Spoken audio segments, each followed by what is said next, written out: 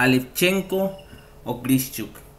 Bienvenidos de nuevo al canal. En esta ocasión vamos a ver la partida por la ronda número 8 del torneo de candidatos 2020-21 entre los rusos Kirill Alevchenko con blancas y Alexander Grishchuk con negras. Hasta el momento Alevchenko iba con dos puntos y medio en el fondo de la tabla con eh, con el jugador de China Din Y Grishchuk llevaba puras tablas hasta el momento.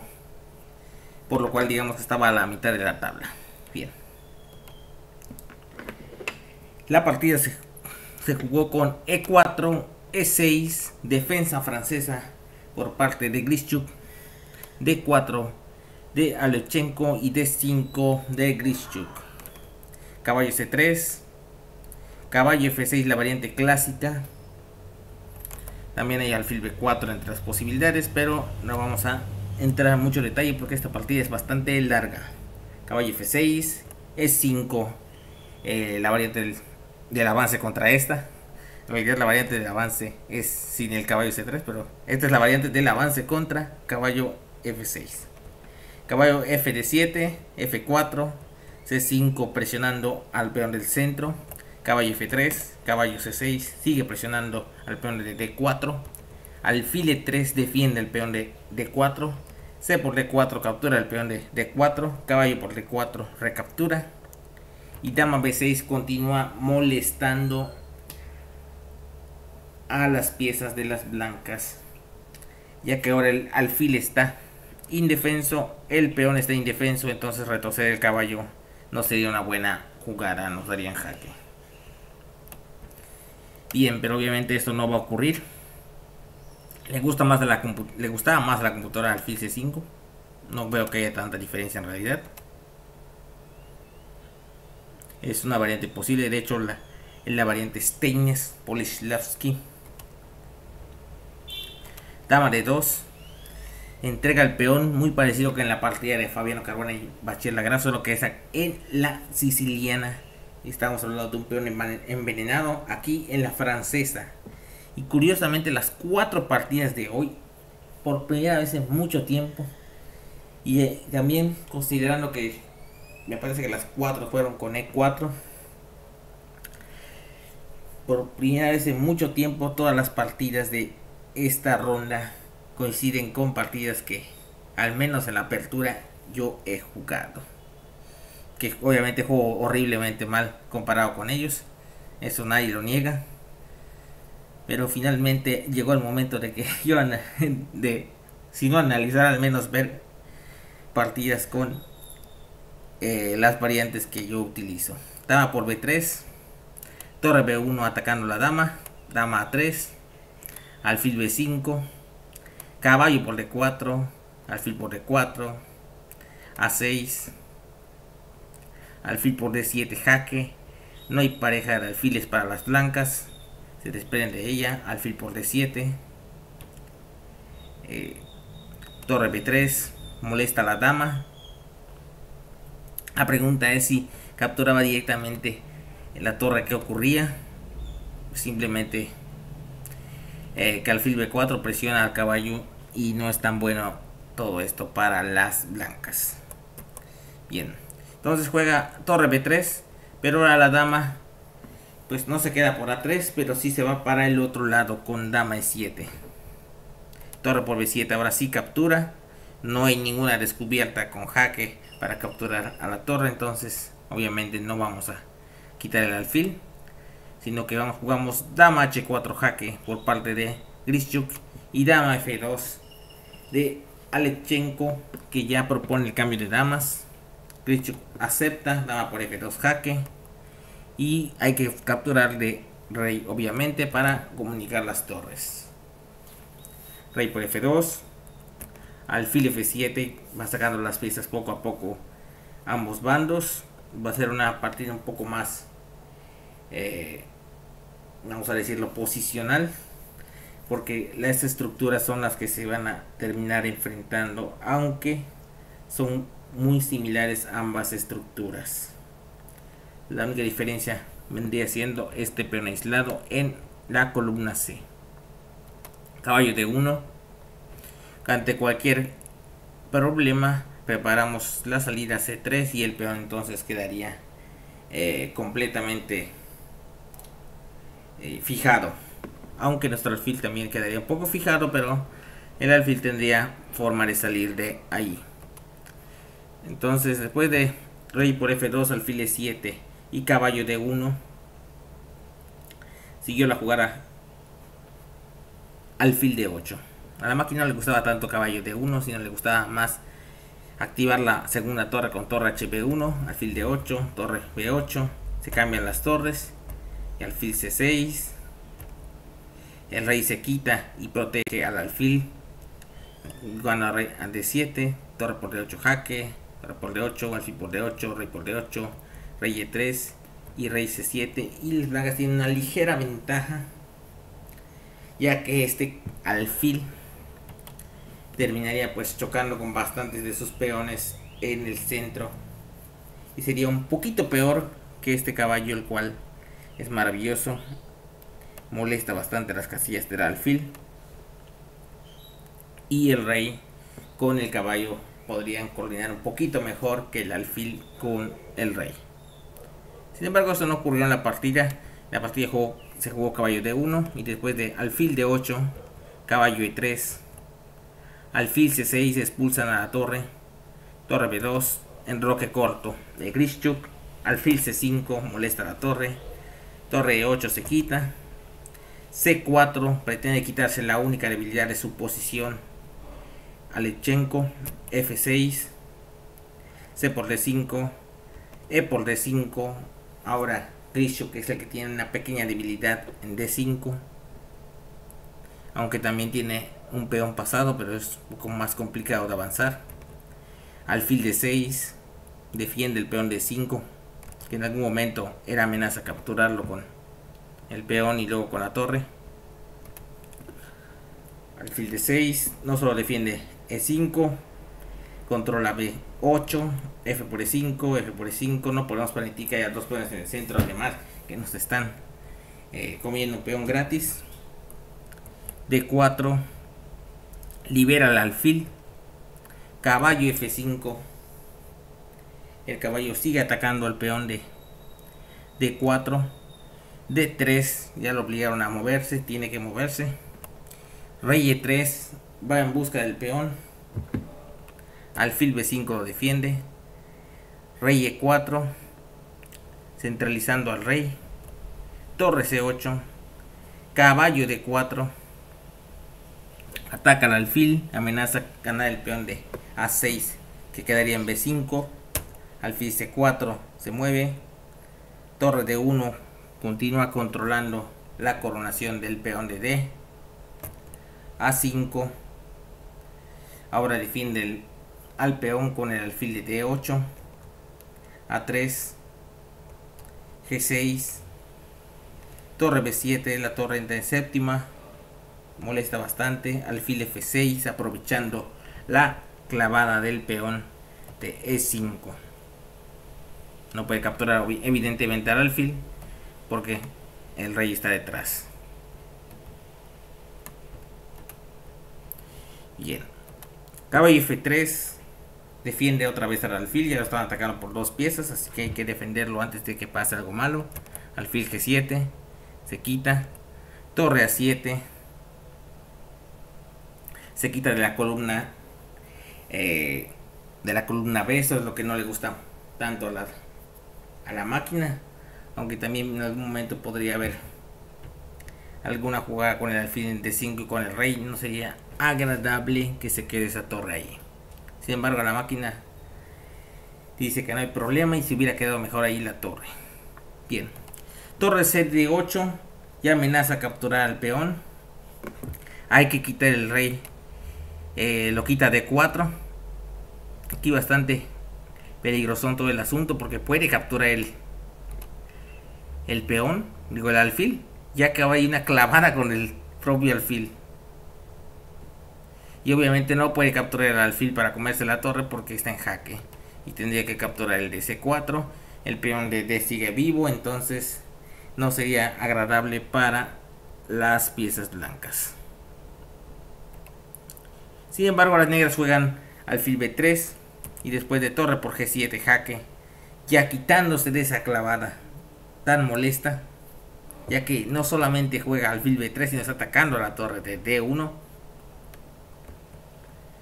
Torre por g7 jaque, rey por g7, torre por d3, ya no hubo tiempo de capturar a la torre con el alfil. Y las negras tienen la calidad pero a cambio las blancas son las que tienen ahora el peón pasado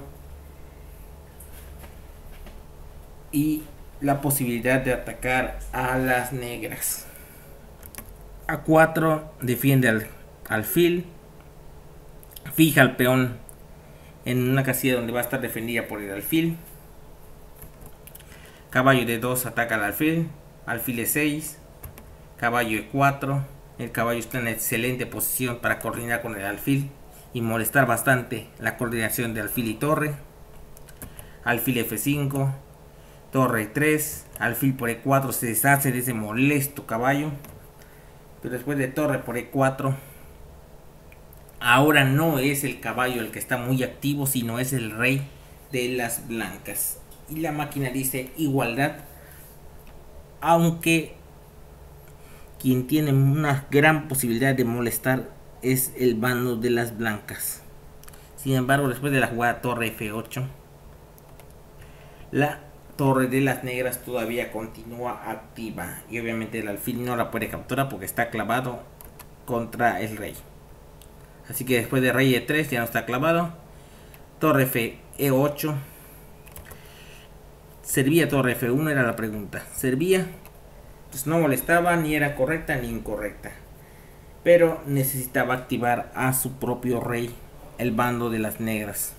A lo mejor por eso prefiere jugar un poco más pasivo, torre FE8, controla con las dos torres, ya va el rey a ayudar y no debe pasar nada malo.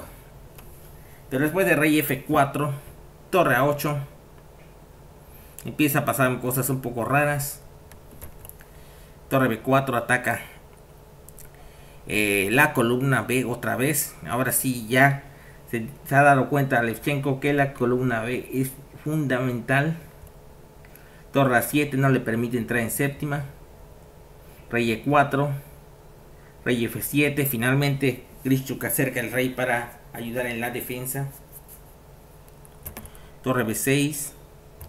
Torre C8 la otra torre intenta activarse, hubiera sido mejor antes activarse por F1, pero ahora intenta activarse por C8. Alfil B4.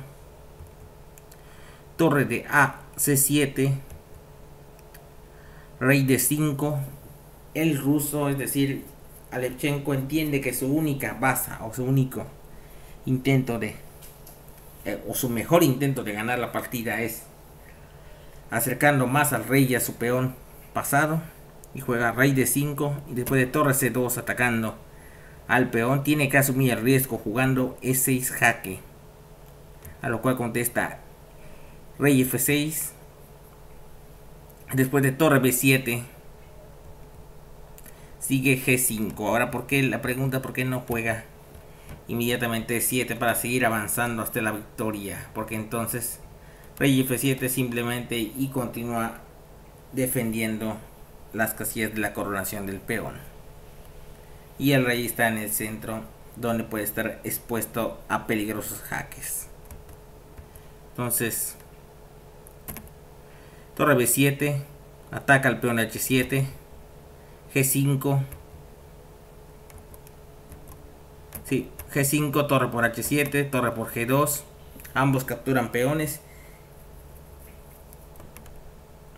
rey de 6 rey G6, la torre se va a H3 y después de G4, torre 3, activa la torre, el precio es el peón de H2.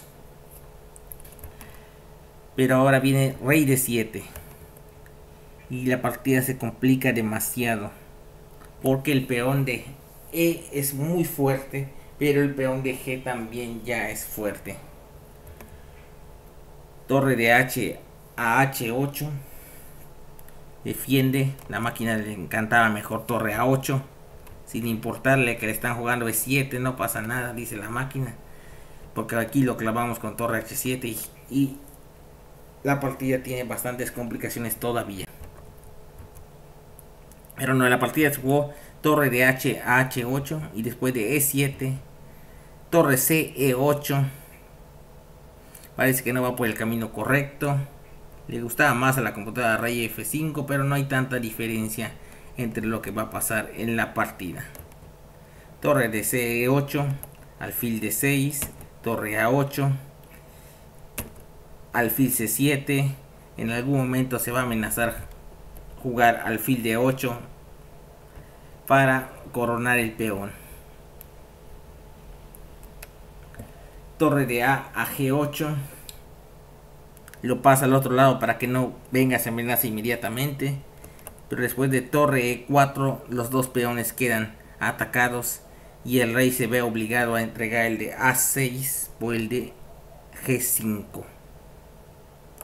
Cosa que le gustaba más a la computadora la jugada rey G5, inentendible por completo. Termina siendo el, el mismo asunto. Pierde el peón de E4. Un desastre para las negras. Entonces, podríamos decir que la jugada torre de AG8 es imprecisa. ¿Cuál era la recomendación? Simplemente seguir jugando a que ese peón no avanza con torre H7. Y el peón no avanza y sigue jugando el mando de las negras para no perder. Pero después de torre AG8, torre 4 Rey F5. Torre F4 jaque. Rey G5. Ahora es peor. Eh, la jugada G5. Aunque básicamente lo mismo que recomienda la computadora. Pero se pierde el peón con torre por A4. Y ahora tiene dos peones pasados las blancas. Y esto se complica cada vez más. La partida objetivamente debería estar perdida. Pero hay todavía bastantes cosas que hacer. Rey H4 Torre 4 es el camino adecuado. Torre a 8. Y aquí la recomendación es simplemente jugar a 4. Y después de rey G5. Seguir con A5. Torre H7. Último esfuerzo para evitar que avance el peón. Ahora sí, Grischuk ya entendió que la clavara con el peón y el rey era su mejor opción tal vez demasiado tarde. Juega rey c6. Eh, Alechenko se tiene que volver a h8 la torre de h6 de h7 juega rey de 7 nuevamente repitiendo otra vez torre h7 parece que va a repetir pero después de rey c6 le gustaba más a la computadora incluso rey de 6 opinión de gustos opinión de de la computadora. Torre H, H8 y ahora obviamente no va a repetir con rey de 7 y juega torre E3 y aunque lento pero segura seguro va el peón hacia la victoria torre de H E8 es el error definitivo según la computadora la voy a jugar a rey F5 pero después de rey F7 no cabe duda que eh, las piezas de las blancas están mucho más activas que las de las negras. Aún así ofrece un poco más de resistencia.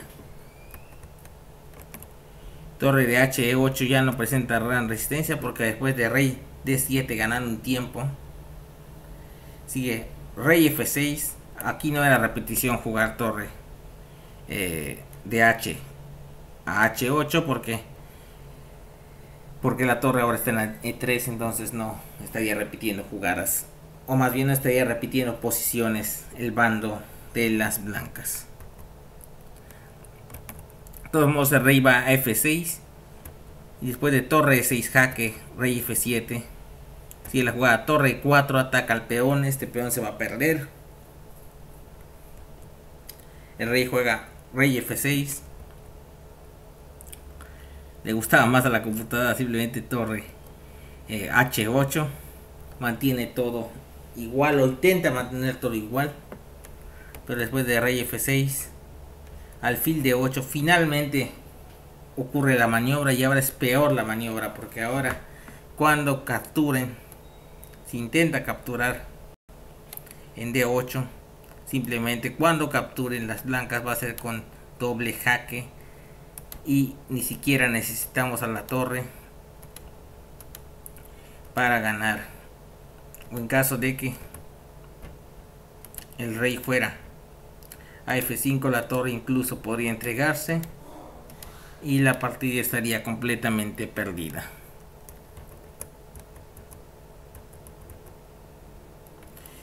De todos modos, eh, juega rey F5 atacando la torre.